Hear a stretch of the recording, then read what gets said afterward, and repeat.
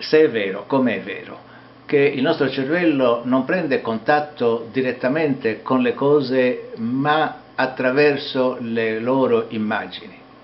E se è vero, come è vero, che questo capita anche agli altri esseri viventi ma che hanno occhi e cervelli diversi dai nostri, c'è da domandarsi come appariranno i paesaggi alle api che vedono gli ultravioletti e noi non li vediamo